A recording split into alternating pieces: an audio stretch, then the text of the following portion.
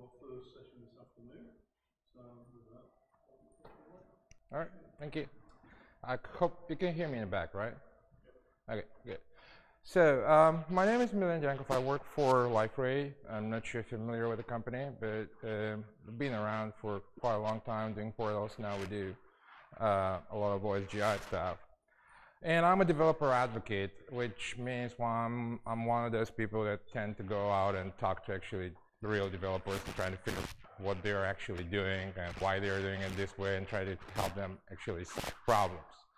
So if you're familiar with LifeRay, you may recognize LifeRay as the portal company, which is what it used to be. And we used to do a lot of portal stuff uh, in the past, but we kind of shifted into doing a lot more things recent, in the recent years. Um, and uh, what you see here is some of the projects that we uh, work on. And you can probably recognize there's been a lot of effort going on into the front-end developer, helping front-end developers being more productive. It's not so much about enterprise Java developers, even though we modularized the whole platform and it's not much better. In terms of, we, we made business lives easier, but in terms of making developers' lives easier, it's not it goes with that much of an achievement. Uh, so there are things that we could have done better, and because we heavily based on OSGI, there are things that in the OSGI can be done better that we could probably focus on, and this is basically what I'm going to be talking about today. Um, so let's let's have a look at a Java developer um, getting used to a new framework.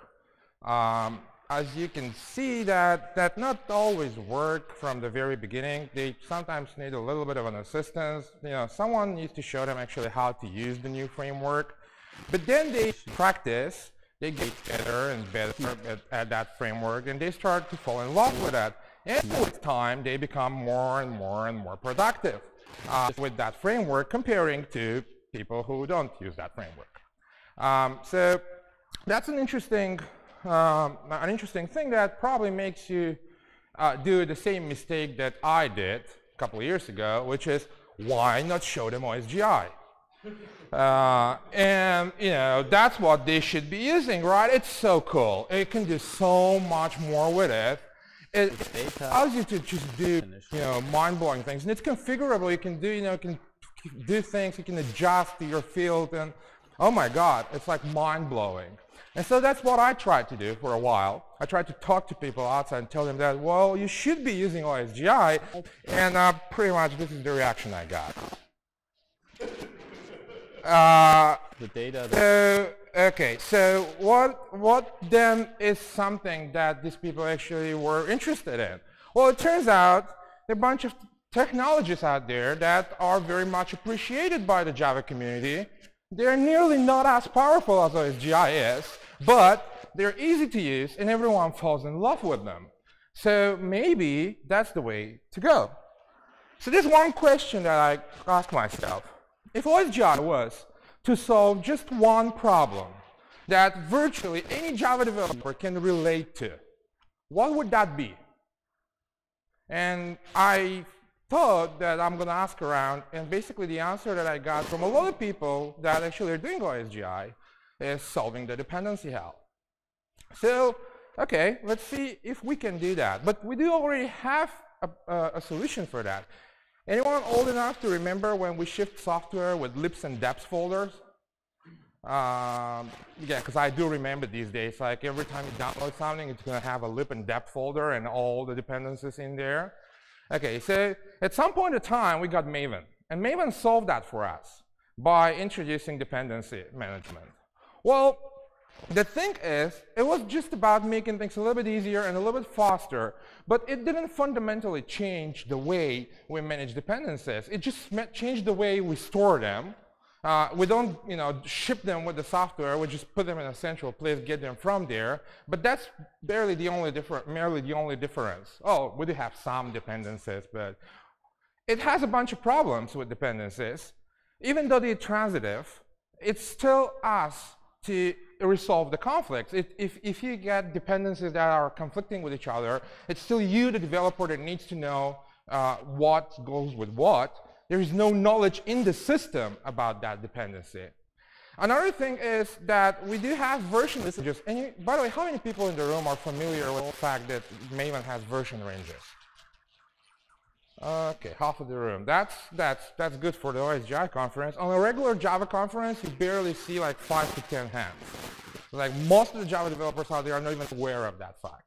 But still, you know, it, it, it's up to you to solve like uh, the most famous example is SLF4J, which pretty much any project out there is using in any version that you can imagine.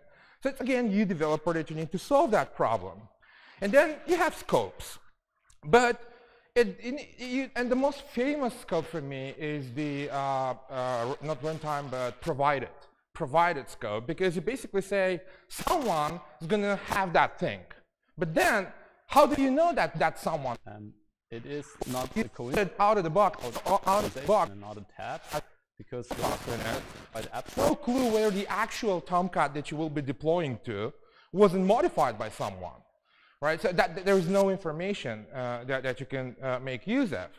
And then uh, dependencies in Maven are basically only between artifacts. They can't be expressed as a dependency between anything else, like your operating system or your infrastructure or, or whatever.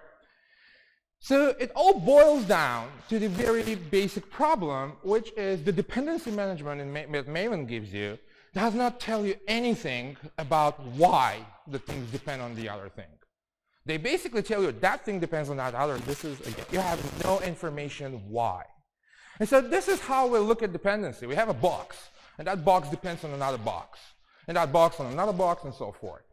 What we are really having to deal with is that something in that box depends on something that's in that other box. And that's your actual dependency, which is well hidden from you when you, when you only do Maven dependency. Okay? And so the next slide is something that's going to be fairly obvious for all of you, I hope, at the OSGI event. But it comes as a shocking news for most of Java developers out there, which is the fact that you can have something that actually looks inside your box and figures out where that dependency came from, and then put some metadata in your box to actually describe that, to basically say, I depend on something else because of, right? And you now have a reason. And then you can actually start talking about contracts. You can start talking about, no, I don't depend on that R box, but I have a contract with virtually any box that has this thing that I need. And so I know this is fairly obvious for, for the people in this room, but for you know our average Java developer out there, that's like, no way you can do that. So I said, well, maybe we should go uh, one step further and, and actually prove that this thing um, can work. So here's a little demo that I have. Uh, I think I need to disable, where is my, okay. So I have a, a bunch of projects in here. Um, bear with me. Uh, I don't have too much time, so I need to go really quick about that. But essentially, there is a, uh, a jar file, let's say, a project, which is an API, which only has this interface calculator, which accepts a string and do some calculation. I do have an implementation, that's another module, um, which is uh, whatever, it just does some regular expression, doesn't really matter. I have another module which is called markup, and the markup is pretty dumb. It basically looks for anything that is enclosed with the math stack and uh, calls the calculator to actually calculate what's inside and then prints it out uh, and returns it. Well, the tricky part in here is it uses this cool Java 6 feature called service loader. How many of you are familiar with service loader? Okay, uh, now I'm really surprised because it's normal that only two people raise their hands on Java conference. Uh, I thought there's going to be a lot more here, but okay. Anyway, uh, service loader is a fancy new thing, new in, in, in Java 6. I'm not going to have the time to explain to you how it works. All you need to know is it looks on the class path to find out an implementation of an interface. Um, so that's what it does in here. And finally, I have an editor, that's another module, that basically uses the markup. Uh, and uh, what it does is it, uh, uh, it, it, just shows the swing window where you can do some calculations. So let me build that thing. Uh, I could use package, but never mind. Okay, it, it, those are the modules as you can see. You, you can see the text, right? Um, so those, those are like API, simple calculator, markup, and editor, right? And then I can do Java jar. Now, one thing in here is I'm using a Maven Shade plugin to build a single executable, and that turns out to be what most people out there use to build executable jar files. Not going to go into details how that works. Um, so I'm going to just do Java jar editor uh, target editor jar and run that thing. Okay, so this is your calculator. Cannot zoom in too much, but I can probably do this. So here is your expression. You have some math and something in it, and you click on preview, and it should calculate it for you. Well, surprise, surprise, this is what happens. Uh, and the reason this happens is the famous service loader. Now, uh, not here, here. Now, let's go and explain that why this happens. Because this is how your dependency graph goes. You have the calc API, the markup depends on calc API, editor depends on markup, and this is what produces your app. And then you have a simple calculator here, which is the implementation, which also depends on the calc API. Well, there's no way for this thing to know that you actually need that simple calculator or whatever calculator to actually work because that's not expressed anywhere, right? So how do you fix that problem? Guess what most Java developers do? They do this. And that solves the problem because indeed markup needs an implementation of the calculator to actually do the job. Then guess what happens? Imagine that's an enterprise project. They invite an external consultant and this is what happens. They basically tell them, if you only have one implementation of that interface, you don't need that interface, so throw it away and just use the, the implementation. And in this particular case, they kind of have the point. Another way to fix that is to basically say, well, now editor depends on the calculator. Well, okay, that's fine, that's better, but how in the world you'd know? Now, in this particular case, I'm the author of all these things, so I know. But if markup was something that you have downloaded from Maven Central, how would you know that you actually need an implementation and which implementation? This information is nowhere unless you read the documentation and, and, and, and do some research about it. Not only that, but what if your editor uses another uh, panel inside that happen to be to depend on another calculator. And then all of a sudden, you have two implementations of the same API in the same jar file, and you can imagine where that goes. Right? You end up with like all these jar files uh, that, that you actually need. So how we fix that is by introducing the thing that I'm calling a contract here. And it's very, very simplified version of what you're well aware of, and it's all known in, in OSGI requirements and capabilities. Um, so basically, we provide some metadata. Uh, we don't speak about OSGI runtime. We don't speak about anything complex. We basically say, well, I'm just going to say in my markup that it requires an implementation of a calculator. And in my calculator, I'm just going to say that it, it provides that implementation. And then I'm going to give my editor some options to actually look at and figure out what is it, what it needs. And to make it even easier for developers, you can have, that's an optional thing, you could probably have something locally that's going to suggest you, like what exactly do you need to put uh, in, in, in that yellow box so the resolver can actually do the thing. And then when something else comes, well, it, it follows the exact same pattern, but it, the main point is you allow your editor to discover which implement, uh, an implementation of a calculator that you decide to use. To achieve that, there's a proof of concept that I had to write. It's called eccentric modularity. It's available on GitHub, and it's essentially a Maven extension. So let me show you how that works. Um, skip that. Need to go here, close that thing, and and I'm gonna go just right here because I don't have the time to go step by step. Um, hopefully this is gonna give me some time. Uh, please, where was it? It. Okay. So here is the difference that the changes that you need to make in your code. So the first thing first is you need in your parent, uh, which you don't have to use parents, but in this case it's just easier. You need to add your extension, the extension. So basically telling uh, Maven, well, this is something more that you can do. And this is those three lines of code. Uh, now, this is just a property for the version. Uh, and then you can actually you, you can add uh, an additional dependency on that's what uh, that's only annotations in that in that jar file. There is nothing else but annotation and they're compile time only. So that's not a runtime dependency. So that's the first thing to do. And then when you have that in place, all you can do in your uh, modules is actually say in the API, you can just use a, a, a one line like this and say, build me a module.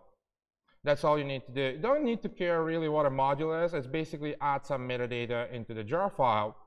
And then you can use annotations that you just import to say, well, this thing provides a fantastic calculator, whatever the fantastic calculator thing is.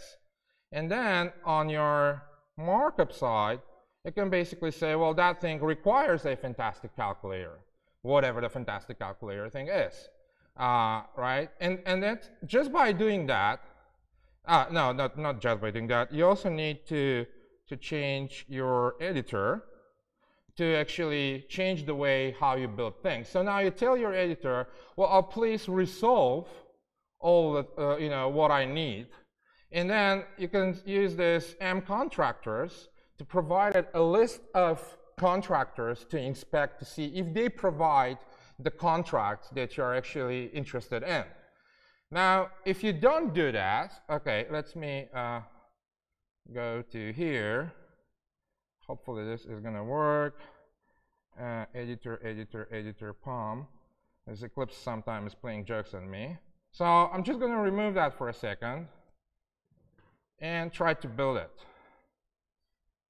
Um, so if I try to build that thing now, what's going to happen is it's going to fail. But it's not going to fail with the ugly requirements and capabilities error message that you get normally when you do stuff like that in OSGI. But instead, it's going to tell you that, well, your fantastic calculator requirement is not fulfilled. And by the way, those two are the things that may help you solve that problem, right? So now you can grab one of those, uh, decide which one, and copy it in your uh, in your POM file, uh, and um, actually do that again, and that is going to resolve for you. Okay, so uh, uh, still here. Need to run that thing again, and if I now do preview, you see it, it now works. Okay, and it, that's not OSGI at runtime at all. This is a plain Java app that uses service loader to load services, and it makes use behind the scene, uh, uh, uh, makes use of OSGI technology, but no, the, the people that are using it don't have to be aware of that fact at all. They don't need to know BND, they don't need to know BND run, they don't need to learn anything about OSGI. It's just bringing them a value without having them to uh, learn about all the, the, the, the, things that, that, are, that are actually happening behind the scenes in a, in a somewhat declarative way. Uh, okay, let's go one step further. Um, where's Git Okay, and uh, I'm just going to go through here directly. Okay, so now I added two more things, uh, which is I added another implementation called Fancy Calculator. And Fancy Calculator now uses a little bit more things than, than come from the OSGI world, which is a declarative services annotations, uh, which is that component. But it also, it also provides fantastic calculator, but with some options. And for a Java developer, that's a pretty more that's more than enough information. Now, I also created a RESTful service here, um, which is a standard uh, JAX-RS service. You can see the standard JAX-RS annotations in here. And apart from that, it's a component that uses declarative services, and it uses these two things. It requires JAX-RS server and requires power calculator.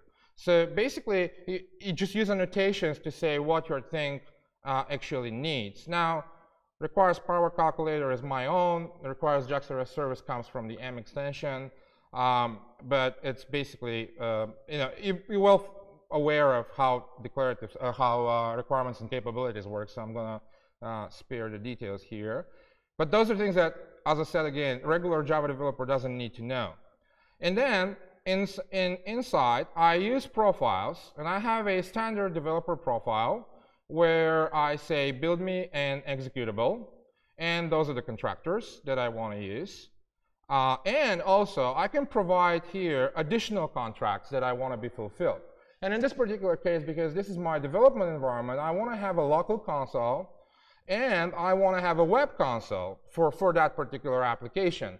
Now, I need to fix a bug here.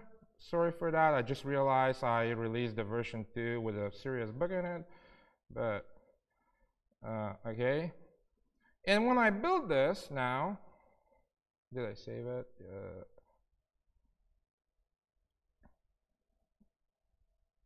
Uh, uh, no, I need I need to fix it in here. Pom pom, please. Just to make sure it's there. Uh, yeah, uh, I didn't I didn't show the other profile. Okay, so this is my standard profile like for, for development environment with a bunch of contractors. Um, I also have a liferay profile, which is doing something different. Instead of uh, instead of building me a, a, standalone executable, it resolves again against an OSGI runtime. It basically says, well, this is where I'm going to be deploying that thing. So I want you to get all the modules that I need to deploy on that runtime. And, and that's the, that's the, uh, the main difference. Um, so where is it? Let's build that. That's going to have a few more modules here. It's going to take a while, unfortunately, for the resolver to actually resolve that thing. But hopefully it's going to work without issues. So as you can see, we have two more modules.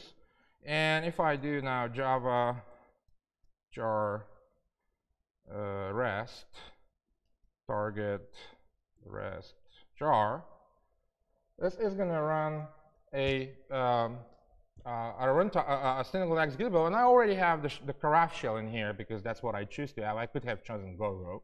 Um, so I can say bundle uh, list, uh, sorry,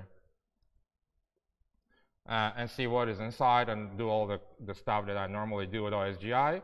But that's not the point. The point is I can now go to localhost 8080 services slash cog, and I can, you know, I just can access my RESTful service from here uh, and do calculation, fancy thing.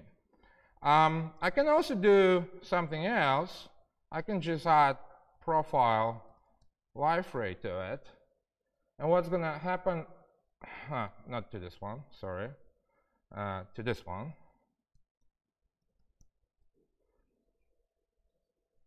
And what's going to happen in this case is instead of building a single executable jar file, uh, it's going to basically, as you can see, it says it generates the distro jar from the running environment, and now it's going to resolve again that jar file. And now what I can do is I can go to my RESTful service, target, export, and see what is what are the bundles that I actually need to run in my runtime. So here's my liferay, deploy, uh, uh, well, the other way around. Okay, I can deploy those. Yeah, they deploy. Let me make sure. Uh, how do I make that bigger? Uh, Okay, so you see Jax REST connector, REST, whatever, it's already installed. So now if I go to localhost O services, well, just to show you that that is Liferay running here, or it should be on port 9090. Uh, I should have opened the page earlier. Come on, come on, don't need my time. Okay, so now in, in OSGI we use the slash O prefix to actually, uh, in, uh, in Liferay we use the slash O to refer to OSGI um, web service, uh, web uh, stuff. So as you can see here, we can do uh, the same thing uh, on in, in a running OSGI environment, which happens to be Liferay in this case, but could be pretty much uh, could be pretty much anything. Um, so again, this is a proof of concept. If you want to look at it, it's released on Maven Central, the version 0.2. The reason it's released on Maven Central is I figured no one wants to play with that thing unless it's a, available on Maven Central and they can just add it and, and, and, and use it. But if you want to actually see it, uh, the source code, it's on GitHub. I'm totally not proud with the source code. It's a proof of concept. It's been written in my free time and many sleepless nights, so don't make fun of it. It's, it's really terrible in terms of source code. But it works, and it proves the point that you can actually give a Java developer a, a tool to actually make their life easier and to um, actually uh, uh, hide uh, things that they consider uh, very complex. So the basic idea is this. You have like modules on Maven Central, or you have plain jar files on Maven Central, and you have this thing called contractor. And contractor is nothing more than a, a, a, thing that basically says I provide this and at the same time I require this. It's just it's just a aggregation of dependencies if you if you want to think about it that way. And then you can do things like m add contractors and just pass to that a Maven coordinate, a Maven group. It's going to go scan Maven Central and make a local copy of your contractors, of the contractors that it finds. So this is then later on can be used to suggest you things. So when you actually do build stuff, inside your module, you can say, I require something, and uh, you provide a list of contractors or modules, whatever works for you. And if something, if, if it cannot resolve, it's going to actually query the repo and, and, and say, well, by the way, those things may solve your problem, uh, right? The other thing that it does out of the box is if it encounters dependency down the road that is not a module, it's going to automatically convert that jar file into a module. Now, I know now you're going to be throwing things on me because this is not what a proper Java uh, OSGI developer does. And I totally agree with that. But trust me, for those people out there, it doesn't matter as long as it works. And it's a framework point. I'm not saying this is the best practices. I'm not saying this is what everyone should be doing in their commercial enterprise projects. But it gets them started. It gets them interested. And it also connects to a uh, module or runtime to actually be able to resolve against things that are already running, whether that's your production, your you know, staging, or uh, or whatever that is. And it produces one of the two things. Either it produces a single uh, standalone executable jar file, or it produces a, uh, a list of modules that you can later on deploy someplace, um, someplace else. So what else, what, is, what else could do and maybe will do one day if I find the time to do something about it or if someone willing to help uh, it's the MVM mrun is an, uh, probably the biggest thing that I I, uh, I, get requests for, which is you can like much in the BND run BND tools you can keep the the local environment running and developing, and it's going to be automatically replacing stuff because right now you have to run Maven every time. Um, there is some problems with M2 Eclipse right now because M2 Eclipse ignores the Maven extensions, particular parts of the lifecycle. Uh, but that uh, and that's kind of hard to fix. But I'm working with Greg Amerson from Liferay to actually get that resolved. Um, support for remote services that's big, and I honestly don't have a clear idea about how to do that. Um, but the idea is to mimic the uh, uh service registry of Spring Boot. Um, more contractors, particular for a famous thing that Java developers how they use. Uh, improve the error uh, messaging, which gives you more hints, better hints, whatever. Um, provide a UI. If you if anyone has tried Spring Boot and aware of uh, the Spring uh, start.spring.io, which is a web page where you can just say this is what I want and it generates the project for you. Well, that's something that's relatively easy to do and probably uh, probably should uh, should be here. Um, support for version ranges, which is not there yet. Um, mm, yeah, and then uh, there's also uh, a need to actually improve a little bit the runtime inspection because right now there is no way to augment the information that you're getting from your runtime. In a sense that if in, in your runtime you have a bundle that does not provide, that does not declare what it actually provides, there's no way for you to augment your resolver with that information. You can augment it if, if that is a bundle from Maven, but you cannot augment it if that's generated from a runtime. So that's one thing I'm trying to figure out how to do. No, no idea. And probably millions of other things uh, could be improved. As again, again, that consider that a proof of concept to solve a particular problem. And this is where you go more. Like, what in the world you're gonna actually waste your time doing things like that? Well, after all, you can do all of this, and even a lot more of this uh, than this, with BND and Bndtools. The answer to that is it's really hard for a regular Java developer who has never heard of OSGI, not to mention those who have bad experience with OSGI, to appreciate the value of OSGI. Because it's like, I don't, it, they're at a stage where they believe they don't need it. So maybe if we give them something that actually works and that does not impact a lot their learning curve, we're going to bring them to the point where they're going to be making use of that thing without even knowing, make, uh, seeing the benefits, which eventually going to make them dream about getting even more out of it.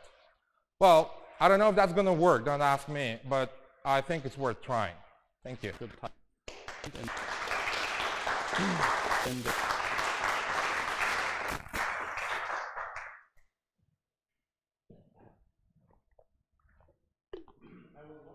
Current? Mm -hmm.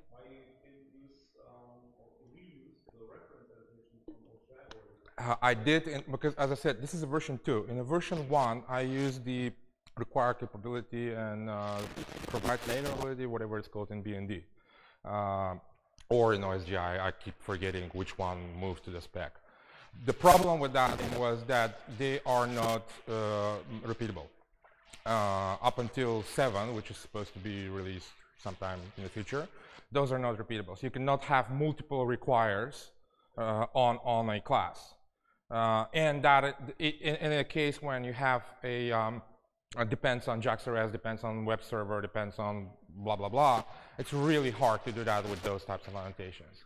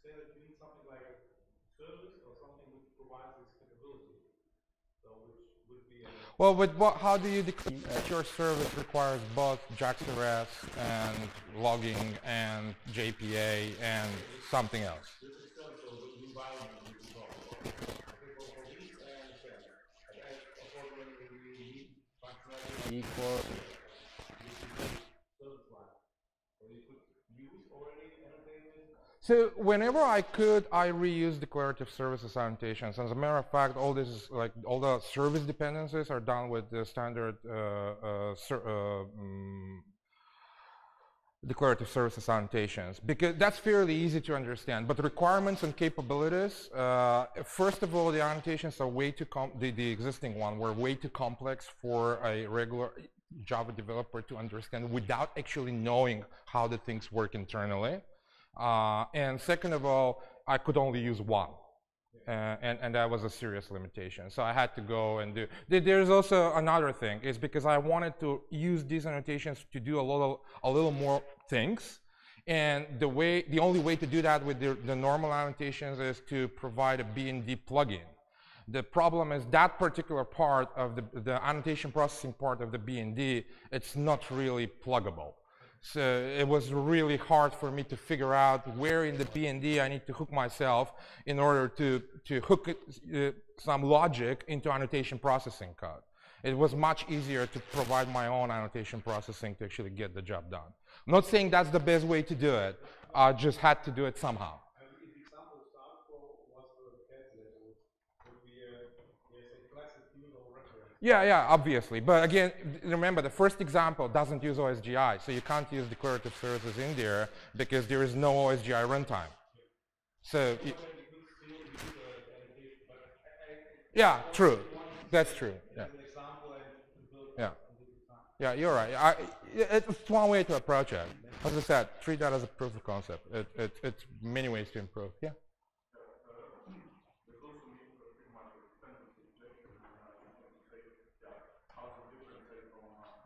Ah, that's a very good question, which I, I skipped because I didn't want to uh, I didn't want to uh, waste too much time.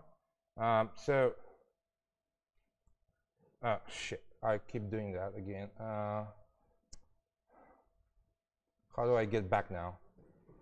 Ah, man.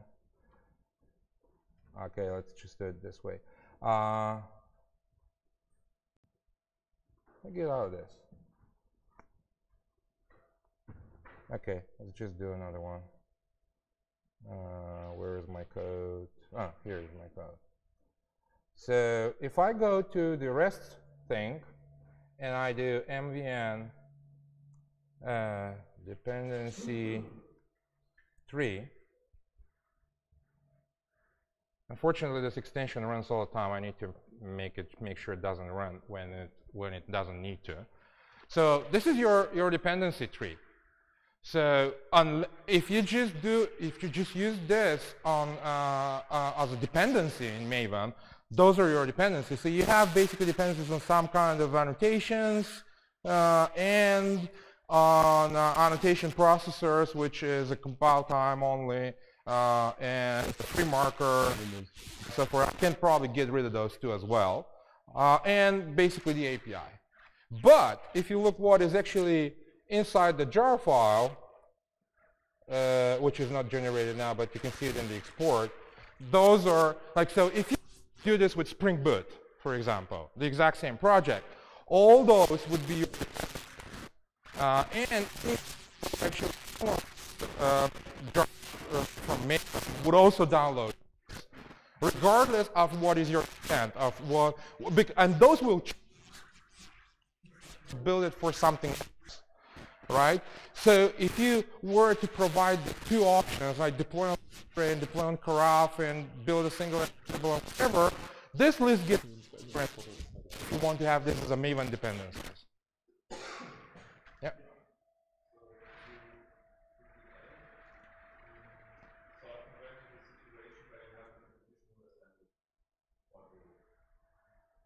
Okay, so this is not, not different than what the BND Maven plugins does. As a matter of fact, with one tiny little where I had to override a Maven, a standard BND Maven plugin, what this thing does is it basically configures BND Maven plugins for you. Uh, it, it, what it does, the extension basically it do, does what you would do if you wanted to do this manually. So you would manually, you would need to add the BND Maven plugin, you would need to add BND Resolve Maven plugin, BND Export Maven plugin, all those things. Basically what this does is does exactly the same thing behind the scenes, on the fly.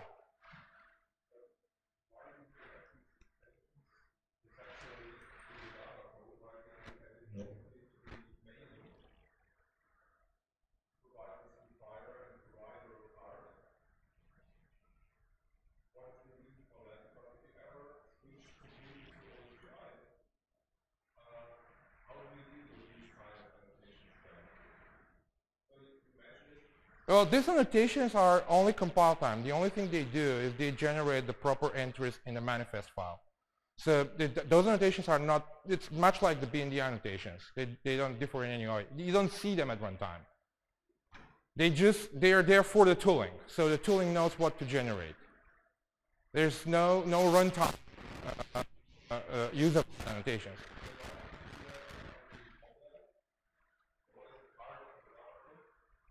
Why, uh, I'm sorry, I'm not sure. I-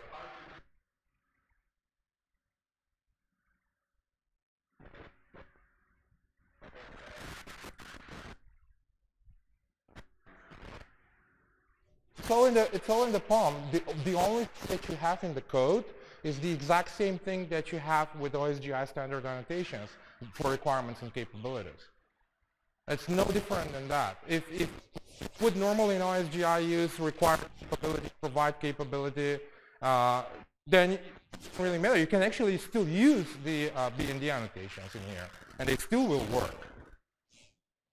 Those are annotations, but the exact thing and generate some metadata in, in, in a manifest file or whatever. Sorry? we need to wrap up Uh, okay, uh, so about five minutes. Uh, no, I'm,